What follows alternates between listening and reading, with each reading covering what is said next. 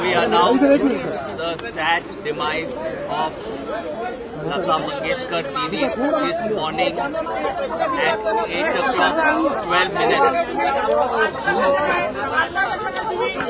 He has died because of multi-organ failure after more than 28 days of hospitalization post-COVID. अरे चुप बैठो रे